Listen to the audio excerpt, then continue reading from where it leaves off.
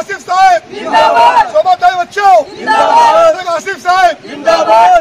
आसिफ साहब। शोभा ताई बच्चों। जिंदाबाद। शोभा ताई बच्चों। जिंदाबाद। कांग्रेस पार्टी को वोट दो। अस्सलाम वालेकुम वार्ड नंबर तीन से सगीर मेंबर बात कर बोल रहा हूँ। हमारा आज का दुलिया मतदार संघ का जो इलेक्शन है पार्लियामेंट का दूसरा दिन है।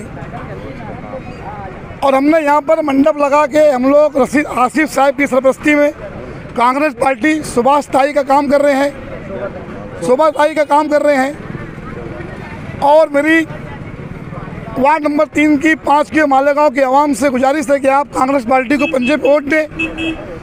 और हमने यहाँ पर कंप्यूटर का इंतज़ाम किया है। सगीर मेंबर के ऑफ़िस के पास पंचतन चौक में हमने कंप्यूटर का इंतज़ाम किया है। और आप सिर्फ़ शनाख्ती कार्ड लाइए और एक मिनट में स्लिप लेके जाइए।